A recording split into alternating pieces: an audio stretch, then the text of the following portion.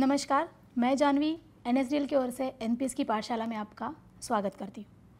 हमें ये बताते हुए बेहद खुशी हो रही है कि एनपीएस के बहुत सारे फीचर्स के बारे में हमने लगभग 30 से भी ज़्यादा वीडियो आपके लिए हमारे यूट्यूब चैनल पर उपलब्ध कराए और इन्हें काफ़ी अप्रिशिएट भी किया गया है। इन्हीं में से कुछ वीडियो में हमने एनपीएस से पेंशन प्लान के बारे में तथा पेंशन पाने के लिए रिक्वेस्ट इनिशिएट कैसे की जाए और नोडल ऑफ़िस उस रिक्वेस्ट को कैसे वेरीफाई करें, इत्यादि के बारे में डिटेल डिस्कशन किया है। लेकिन अलग अलग फोरम में हमें अक्सर पूछा गया है कि ये पेंशन प्राप्त करने की प्रक्रिया कब शुरू होती है। और इस प्रक्रिया को पूरा करने के लिए सब्सक्राइबर को क्या क्या करना ज़रूरी है। तो चलिए, आज हम इसी के बारे में अधिक जानकारी प्राप्त करते हैं। और इस टॉपिक पर बात करने के लिए मेरे सीनियर कलीग मंदार जी हैं। Sir N S D L N P S की पाठशाला में आपका स्वागत है। धन्यवाद जानवी।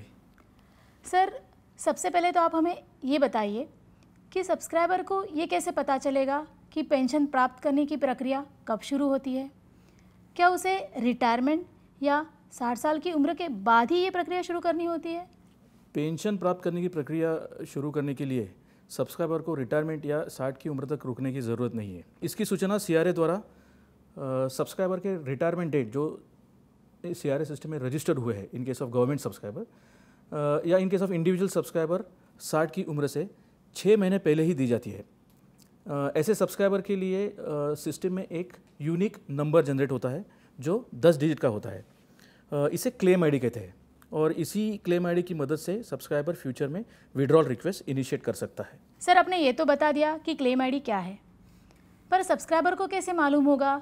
कि सी सिस्टम में उसका क्लेम आईडी जनरेट हो गया है?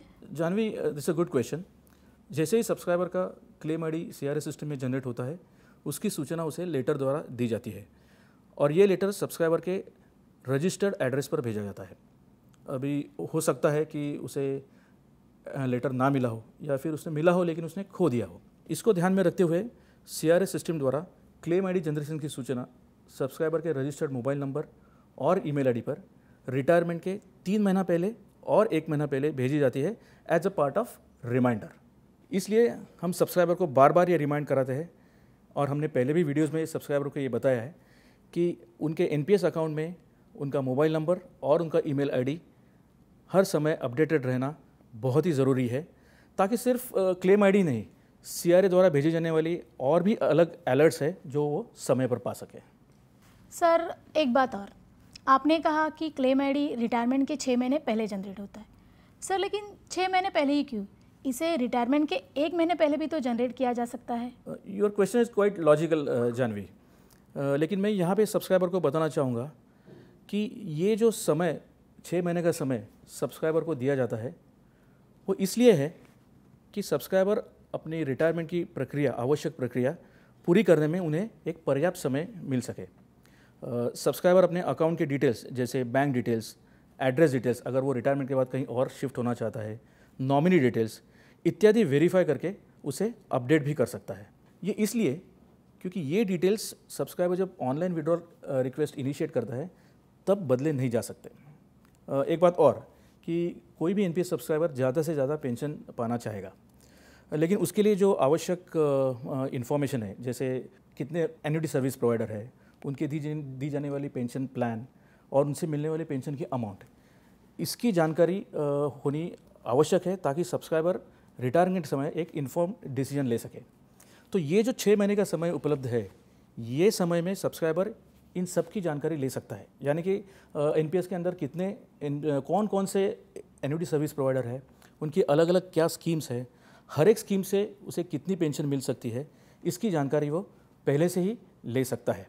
अलग अलग एन्यूटी सर्विस प्रोवाइडर द्वारा दी जाने वाली पेंशन प्लान और उनसे मिलने वाली पेंशन अमाउंट के बारे में तुमको तो पता ही हमारा एक और एक वीडियो है जिसमें हमने डिटेल में चर्चा की है।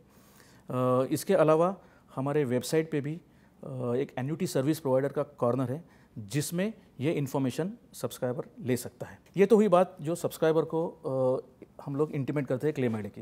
लेकिन इसके अलावा भी जैसे ही क्लेम आईडी जनरेट होता है नोडल ऑफ़िस या पीओपी के लॉगिन में वो दर्शाया जाता है। और जब तक ये नोडल जब तक नोडल ऑफ़िस या पीओपी इस पर कोई एक्शन नहीं लेता है, तब तक उनके लिस्ट में ये पेंडिंग देखा जाता है। इसीलिए नोडल ऑफ़िस या पीओपी की भी ये ज़िम्मेदारी है कि इसकी जानकारी वो सब्सक्राइबर को दे दे, ताकि वो अपनी रिटायरमेंट प्रक्रिया समय पर पूरी कर सके। सर, अभी तक हमने बात की कि सब्सक्राइबर क्लेम आईडी से अपना पेंशन कैसे प्राप्त कर सकता है। लेकिन अगर सब्सक्राइबर को अपना एनपीएस अकाउंट कंटिन्यू रखना है तो इस क्लेम आईडी का क्या होता है? रिटायरमेंट के समय सब्सक्राइबर के पास एग्जिट के अलावा और भी दो ऑप्शंस उपलब्ध है। एक है कंटिन्यूशन ऑफ़ एनपीएस अकाउंट और दूसरा डिफरमेंट ऑफ़ विड्रॉल कंटिन्यूशन यानी सब्सक्राइबर अपना एनपीएस अकाउंट 70 साल की आयु तक कंटिन्यू कर सकता है, उसमें निवेश कर सकता है और उससे वो टैक्स बेनिफिट भी ले सकता है। और सिर्फ़, इससे वो सिर्फ़ टैक्स नहीं बचाता, क्यों? उसका रिटायरमेंट कॉर्पस भी बढ़ाता है। दूसरा ऑप्शन है डिफरमेंट ऑफ़ विड्रॉल अगर सब्सक्राइबर को ये लगता है कि एन से एग्जिट का ये उचित समय नहीं है तो इस स्थिति में वो अपने विड्रॉल को पोस्टपोन कर सकता है जिसे हम डिफरमेंट कहते हैं। सब्सक्राइबर चाहे तो अपना लमसम विड्रॉल यानी कैश विड्रॉल को पोस्टपोन कर सकता है, या सिर्फ़ एन्यूटी विड्रॉल को भी पोस्टपोन कर सकता है, और चाहे तो लमसम और एन्यूटी पोर्शन दोनों को पोस्टपोन कर सकता है। डिफरमेंट या कंटिन्यूशन की प्रक्रिया in case of government subscriber उनको रिटायरमेंट के पंद्रह दिन पहले तक कंप्लीट करनी होती है। ये पूरी प्रक्रिया ऑनलाइन है। सब्सक्राइबर चाहे तो अपने लॉगिन से ये डिफरमेंट या कंटिन्यूशन रिक्वेस्ट इनिशिएट कर सकता है और उसे अपने नोडल ऑफ़िस से ऑथोराइज करवा सकता है। लेकिन अगर किसी कारणवश सब्सक्राइबर को ऑनलाइन इनिशिएट करना पॉसिबल नहीं है तो ऐसी स्थिति में ये ऑप्शन उसके नोडल ऑफ़िस को भी दिया गया है, जो सब्सक्राइबर के बिहाफ पे डिफरमेंट या कंटिन्यूशन रिक्वेस्ट इनिशिएट कर उसे ऑथोराइज भी कर सकता है। और तुम्हारा जो सवाल था कि उस क्लेम आईडी का क्या होगा? डिफरमेंट या कंटिन्यूशन रिक्वेस्ट प्रोसेस होने के बाद भी आपका क्लेम आईडी सीआरएस सिस्टम में मौजूद रहेगा। आप जब भी एनपीएस से एग्जिट करना चाहोगे, तब इसी क्लेम आईडी की मदद से आप ऑनलाइन विड्रॉल रिक्वेस्ट इनिशिएट कर सकते हैं। सर, यहाँ पर मैं एक बात ऐड करना चाहूँगी। इंडिविजुअल सब्सक्राइबर अगर किसी कारणवश अपना एनपीएस अकाउंट डिफ़र या कंटिन्यू नहीं कर सका तो उसका NPS account by default continue हो जाता है सत्तर साल की आयु तक। इस स्थिति में भी आपका क्लेम आईडी सिस्टम में मौजूद रहेगा। आप जब भी एनपीएस से एग्जिट करना चाहोगे, इसी क्लेम आईडी की मदद से आप ऑनलाइन विड्रॉल रिक्वेस्ट इनिशिएट कर सकते हैं। जानवी, ये सभी ऑप्शंस जो डिफरमेंट कंटिन्यूश और एग्जिट इसकी पूरी जानकारी हमारे क्लेम आईडी लेटर में दी जाती है। इसमें डिफरमेंट या कंटिन्यूशन की स्टेप बाय स्टेप प्रोसेस और एग्जिट की भी स्टेप बाय स्टेप प्रोसेस की जानकारी लेटर में रहती है। और सब्सक्राइबर की सुविधा के लिए एनपीएस में जो एन्यूटी सर्विस प्रोवाइडर है, उनकी कॉन्टैक्ट डिटेल्स और उनकी अलग अलग पेंशन प्लान के बारे में भी लेटर में मेंशन किया रहता है। कंटिन्यूशन और डिफरमेंट ये दोनों ऑप्शन के बारे में डिटेल में चर्चा हमने हमारे एक वीडियो में की है, जो कि इस चैनल पर उपलब्ध है। सब्सक्राइबर चाहे तो ये वीडियो देख के कंटिन्यूशन और डिफरमेंट के बारे में अधिक जानकारी प्राप्त कर सकता है। लेकिन अगर सब्सक्राइबर रिटायरमेंट के पहले ही एनपीएस से एग्जिट करना चाहता है तो उस केस में क्लेम आईडी कैसे जनरेट होगा? तुमने सही कहा। रिटायरमेंट के छः महीने पहले सी सिस्टम अपने आप क्लेम आईडी जनरेट कर देता है based on subscriber date of birth या फिर डेट ऑफ़ रिटायरमेंट लेकिन अगर सब्सक्राइबर प्री मैच्योर एग्जिट करना चाहता है, यानी कि जैसे तुमने कहा कि रिटायरमेंट के पहले ही उसे एग्जिट करना है, जिसे प्री मैच्योर एग्जिट कहते हैं तो प्री मैच्योर एग्जिट के केस में भी क्लेम आईडी की ज़रूरत पड़ेगी। लेकिन फ़र्क इतना ही है कि इस केस में प्री मैच्योर एग्जिट में, ये क्लेम आईडी उसे नोडल ऑफ़िस से जनरेट करवाना पड़ेगा। इसके लिए नोडल ऑफ़िस को www.cra-nsdl.com साइट पर जाना होगा और अपने ऑफ़िस लॉगिन आईडी और पासवर्ड यूज़ कर एग्जिट विड्रॉल रिक्वेस्ट मेनू में जाकर initiate generate claim ID option को सिलेक्ट करना होगा। उसके बाद सब्सक्राइबर का प्लान सबमिट कर जनरेट क्लेम आईडी ऑप्शन को सिलेक्ट करके withdrawal due to premature option को सिलेक्ट कर रिक्वेस्ट सबमिट करनी होगी। इसके बाद नोडल ऑफ़िस को अपनी दूसरी यूज़र आईडी से इस रिक्वेस्ट को ऑथोराइज भी करना होगा। ध्यान रहे कि क्लेम आईडी जनरेट करने के पश्चात ही subscriber online withdrawal request initiate कर पाएगा। सर, जैसे कि आपने कहा कि क्लेम आईडी सब्सक्राइबर के डेट ऑफ़ बर्थ या डेट ऑफ़ रिटायरमेंट पर आधारित है। अगर किसी कारणवश सब्सक्राइबर का डेट ऑफ़ बर्थ या डेट ऑफ़ रिटायरमेंट सिस्टम में गलत रजिस्टर्ड हो गया हो तो क्या इस क्लेम आईडी से विड्रॉल प्रोसेस हो सकता है? प्रैक्टिकली ये संभव है जानवी। तो इसीलिए मैं फिर से कहना चाहूँगा कि ये जो क्लेम आईडी जनरेशन से लेके रिटायरमेंट तक ये तो छः महीने का समय है। सब्सक्राइबर को यूटिलाइज करना चाहिए अपने अलग अलग डिटेल्स वेरीफाई करने के लिए। और अगर ऐसा लगता है कि सब्सक्राइबर का डेट ऑफ़ बर्थ या फिर डेट ऑफ़ रिटायरमेंट गलत रजिस्टर हुई हो तो उसे वो रेक्टिफाई भी कर सकता है।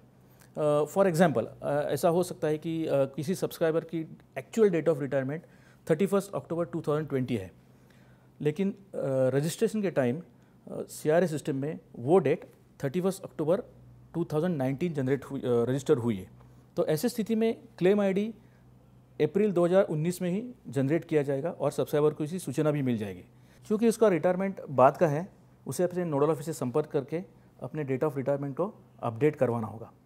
और यही नहीं डेट ऑफ़ रिटायरमेंट अपडेट करने के बाद जो क्लेम आईडी जनरेट हुआ है अभी उसको भी उसको कैंसिल करवाना पड़ेगा। क्लेम आईडी कैंसिल करने के लिए नोडल ऑफ़िस को सी में लॉगिन करके एग्जिट विड्रॉल रिक्वेस्ट ऑप्शन में initiate generate claim ID option को सिलेक्ट करना होगा।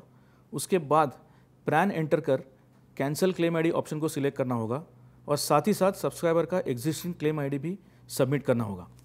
मैं फिर से एक बार दोहराना चाहूँगा कि ये जो छः महीने का समय है जो क्लेम आईडी से लेके रिटायरमेंट तक उपलब्ध है सब्सक्राइबर के लिए, उसका उपयोग कर अपने डिटेल्स वेरीफाई करें और अगर ज़रूरत हो तो डिटे उसे अपडेट भी करें ताकि आपकी रिटायरमेंट की प्रक्रिया समय पर कंप्लीट हो सके।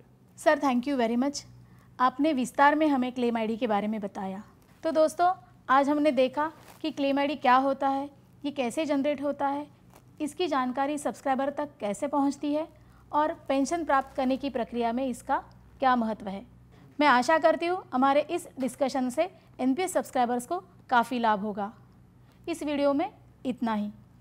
एनपीएस के बारे में और अधिक जानकारी के लिए हमारा चैनल देखते रहिए। अगर आपको हमारा यह प्रयास पसंद आया हो तो इस वीडियो को लाइक करें और हमारे चैनल को सब्सक्राइब करना ना भूलें। धन्यवाद।